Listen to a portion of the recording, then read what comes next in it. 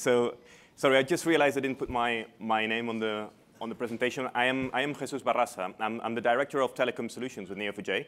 But today I'm, I'm, uh, I'm wearing a, a, different hat. I'm, uh, I'm wearing my semantic technologies kind of expert hat. Because uh, actually in previous lives, I, I, I, did, well, I did my PhD in this uh, semantic technologies area and then spent a few years, well, quite a few, like five, seven years, in industry, in, in telco in particular, using RDF and ontologies to solve, uh, solve real-world problems. So, um, so yeah, today I want to talk to you about, about ontologies and how you can, we can use them uh, with, uh, with Neo4j. So let me start with a quick show of hands. Uh, how many of you are familiar with ontologies, use ontologies? That's brilliant. Excellent. So I'll, I'll still do a, a, brief introduction just to set the context and for those of you who are less familiar with it. So um, yeah, as, a little bit of context. So, so where are we? So this is a is a cool uh, room because we're in AI, which is the topic of the, of the, of the year, I would say. Uh, but lately, you know, AI tends to be seen as a synonym of, uh, of machine learning, and it's, it's not the case. I mean, I've just enumerated some of the disciplines, some of the areas that fall under AI. And you have the robotics, you have natural language, understanding, generation, speech, vision. And there's, of course, automated learning, there's machine learning, but there's also knowledge representation and reasoning, which is the area I'm going to be talking about. And if you want, it's at the other end of the spectrum of machine learning, because one of the problems with machine learning is you know, we can have a neural network that produces a fantastic model that can tell if this picture is a, is a biscuit or is a, is a dog, but we can't explain why. It just works, right? So there's this black box problem. So at the other end of the spectrum in, in the AI uh, um, kind of um, umbrella is, uh, is knowledge representation, where uh, we will try to make our reasoning explicit. We will try to explain what we know and how do we run these inferences. So it's what we call more explainable AI, if you want. So that's where we are. That's, that's, uh, that's where ontologists fit. And, and, um, and what's the rationale behind knowledge representation? Well, a very simpli simplified view of it is, you know, typically you see uh, in any solution, you will find uh, your application logic being a fat component, and your data tends to be a, you know, of course, for data-driven applications. But what I mean is, uh, is, is, simple, is, is simple data. So the idea with knowledge representation is make your data smarter. Make your data smarter in a way that you can move some of the application logic uh, out of it and make it data. And by doing that, you can, uh, first of all, you can reuse that knowledge. I mean, you don't have to replicate in any application. You make it explicit, right? So there, there's a number of benefits. And, and uh, and a great example of, of uh, this idea of knowledge uh, representation and reasoning was uh, at the beginning of the century, uh, the, the vision that mm, Tim Berners-Lee shared about the, the semantic web. If you remember, you know, the web at the time was purely for human consumption. So the data published was pretty, pretty dumb. It was text. What you had at the other end was a client, was an application, it was a customer, a human that had to understand that text. So what, what he said, what the, the proponents of the semantic web said is, why don't we, instead of publishing natural language text, why don't we publish better structured data, self-describing data, data described in terms of well-defined semantics, smarter data, so that we can do smarter things about it. So we can have applications, general purpose applications that can use that knowledge. And, um, and well, that became quite popular, as I say, uh, in, in, the early, early 2000s. So um, so what is an ontology? Because uh, uh, we're talking about knowledge representation. An ontology is a, is a, is a form of representing knowledge. And it's uh, basic. I'm going to go with a, I mean, you can find thousands of definitions in the web, but I'm going to go with a very pragmatic one. So an ontology is a domain model, right? So it's a, a, representation of a particular domain. But it has three characteristics that make it a bit different, a bit particular. And because um, we, we build models for many things. I mean, we, build, uh, we create models when we're going to uh, create a, a, a, database, for example. We do the entity relationship model. We create models when uh, using, using uh, modeling tools. We, we create models when we whiteboard something. But uh, an ontology needs to have these three characteristics. The first one, is it has to be a formal representation. So it has to be machine readable. That, that's a key point, right? So it has to have some structured uh, form. Uh, the second one, uh, it's, it's an explicit description of a domain. It I mean, it's not like a natural language text description. It has to be an enumeration of the entities that, that, that belong to this domain and how they relate to each other. So I'm talking about entities connected to other entities. That sounds like a graph, doesn't it? And effectively, it's, uh, you know, the, most of the, you know, the modeling languages, the ontology languages, are based on RDF, which is actually a graph model. So explicit, that's very important. And the third one is the, the notion of, uh, of um, consensuated knowledge. is a, it's a shared vocabulary. It's typically shared by a community.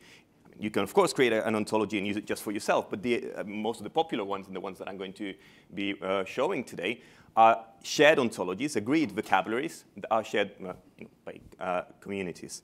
So um, let me show you an example, and I'm not going to, uh, I don't know if that's readable, but uh, that's a fragment of the FIBO ontology. So if there's some of you here that are in the finance industry, you might be familiar with it. So it describes a number of finance terms and, uh, and relationships. And you can see that, well, first of all, it's XML-based. This is a, a, specific serialization. It's using the OWL language. And you can see things like, you know, at the top, there's a description of a class, right? It's a category. So, and it describes what a privately held company is, right? So we see that there's a, some synonyms, like a closed corporation, a privately held corporation. But more interestingly, there's things like subclass of statements. So I'm saying that a, a privately held company is a subclass of a stock corporation, right? That's a bit of knowledge that is going to be useful, and we're going to see that in a minute. So we're making explicit that knowledge, as you can see. It's a formal description. We're making it explicit because then there's a, a, a, description of also of the stock corporation, and it's something that's governed by a board agreement, something that has a date of incorporation. So it, it's, a, it's a formal description of all the elements in that particular domain, and it's shared. I mean, it's governed by the, the EDM Council, but it's a shared, uh, it's a shared vocabulary, and it's, and it's quite uh, widely used. Another good example is schema.org. Right? You're all familiar with the knowledge graph, Google's knowledge graph. And when you do a search, you have to realize that on the right-hand side, if there's, a, if there's a, a, match with a concept, you will, you will see some, um, uh, um, a description like this one. So this is the human-readable version of it. But if you do a search for this uh, album by Miles Davis, you see that you have the title, you have a description, you have uh, the artist. So a number of elements and, uh, and that's described according to, uh, to the schema.org ontology. So what you have here, it's not an ontology definition, is a content, a fragment of content annotated according to that, uh, to that particular ontology. And you see that uh, we're describing that this is, a, is an album. It has a name, it has a description, it has a genre, and, uh, and it's connected to an artist and to other, other elements. So, so ontologies are, are out there. They're being used. And, um, and I was thinking, well, I want to benefit from that. I have my data in Neo4j, but I want to, I want to use them as well. So what, um, first of all, before I show you how to use them in Neo, there's two main uses of ontologies, right? So the first one, uh, as I mentioned, is interoperability, right? If it's a shared vocabulary, if I share my data, if I expose my data according to that vocabulary, people are going to be able to use it and understanding because that's, there's a formal definition for it. People are going to be able to define uh, or to construct applications that consume that data, right? So that's, that's one thing, and it's at the core of the whole uh, semantic web uh, concept, right? So it's all about interoperability. That's what RDF is about. And, uh, and the second one, and, and equally important, is, is inferencing. So as we saw before, an ontology includes fragments of knowledge that I can use to run inferences. An inference is just be able to infer new knowledge out of the knowledge that I have. I have data in my graph database, and I want to derive new facts out of it. So I'm going to be able to use ontologies to do that. So that's, my, that's what I'm, I'm going to try to show. Good. So the first one, uh, have my data in Neo4j as a graph, and I want to expose it as RDF, and I want to expose it according to unstandard vocabulary, and I'm going to use schema.org. What does that look like from the, you know, To call it architecture, but what, what, what's, uh, what are the elements involved? Well, first of all, we have Neo4j, of course, as the data store. And I'm going to use an extension that's, that's been, uh, I've been working on and I've actively developed. That's called Neo Semantics. It's uh, out there in GitHub. You can have a look at it. You can download it. It's actually, I mean, we're around 1,500 downloads. And it's been very well received and, and very good feedback. So it has a number of components that will uh, make it possible to both ingest RDF, to publish RDF, to do things like what I'm going to show today. So these are the two software elements, if you want.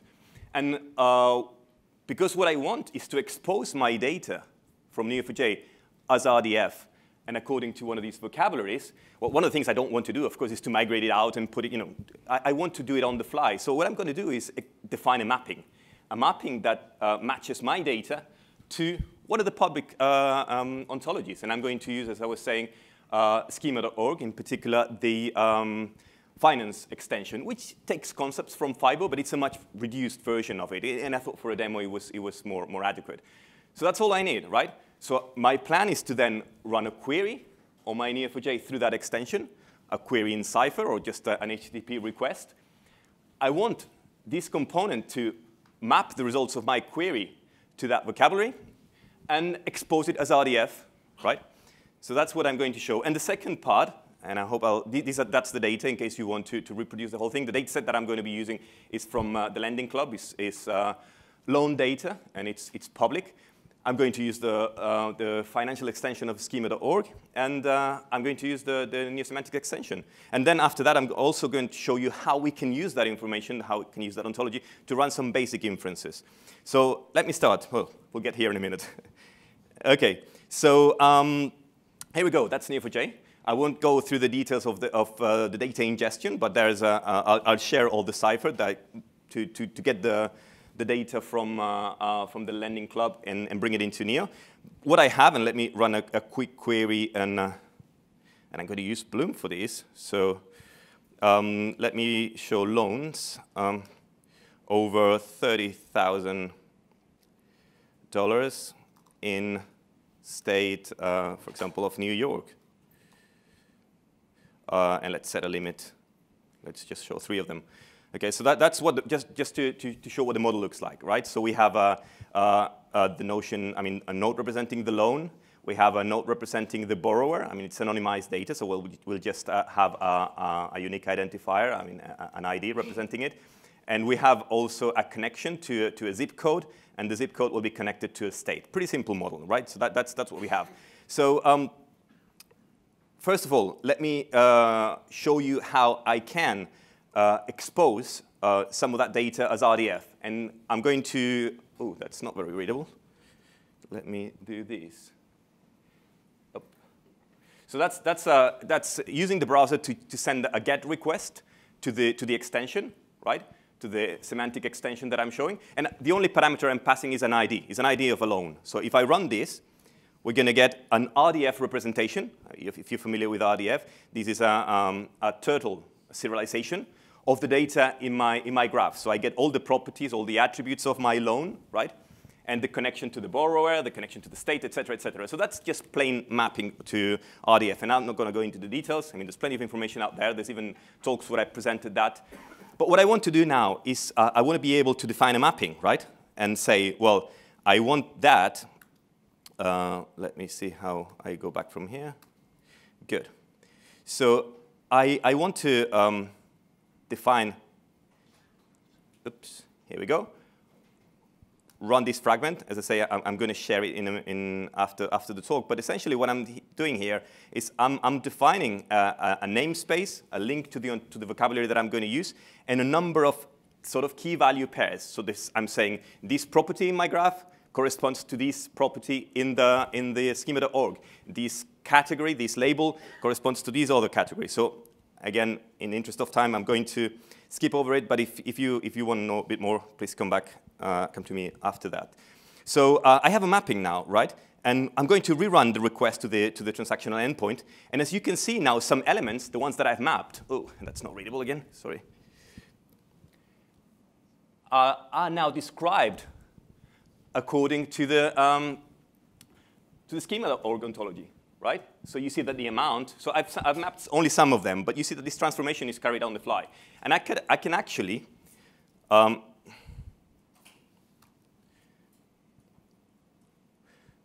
use these uh, as a way of um, kind of exposing just a portion of my data, because if I add this parameter where I'm only showing the map data, I can expose just a portion of my data that's mapped to the, to the ontology in this case. So this is exactly the same information, but only exposing the elements in the, in the schema, map to the schema.org ontology, right? So again, I can go into the details later on if you're interested uh, of the mapping, but uh, the idea is that, um, I mean, we have a graph, and we want to map it to a graph. So that simplifies a lot the task of defining that mapping. So that's the first thing, the first uh, part of the demo that I wanted to show. Um, and very quickly, second part, uh, I'm not going to show how to do it, but you, you can also run Cypher and, and, and, expose bigger, bigger parts of your model. But the second one is, is about inference, and, and that's, uh, that's, I think that's, uh, that's an important one. So um, the idea is that uh, I want to import an ontology now. I want to bring the ontology into the graph because I'm going to use it to, to, to run uh, the inferences, right? So uh, I can do something like uh, stream the data from an ontology, and I can get the, the schema.org one, right? So this is basically getting the, the, the, triples from the ontology and streaming them into Neo, and I can build a model. And that's what I've done. So now I have uh, um, my um, the, a, copy of the schema.org ontology represented as nodes. So I have labels there, and the labels are connected to each other through sub-label of. So it's a simplified view of, uh, I'm finishing, just one minute, sorry. Uh, a simplified view of the ontology. So the idea is that I now have this representation of the ontology in Neo4j, and I'm going to use it to run some inferences. And what I can do is, OK, uh, I'm going to hook my model, which contains loans, to the ontology. So what I'm going to do is I'm saying I'm going to create a new entity in my ontology that's loan, and I'm going to say that it's a subclass of, uh, of the loan concept in the, in the um, schema.org ontology. So what I can do now is say, OK, get me all the financial products in the database. And as you can see, there's no explicit description of any loan as a financial product. But I can run this request, and I will get the loans because loans have been described as a subcategory of financial product in the schema.org ontology. I don't know if it's making sense. Sorry, I have to finish. It's just a lightning talk, but uh, I, any questions I'll take uh, after this. Thank you very much.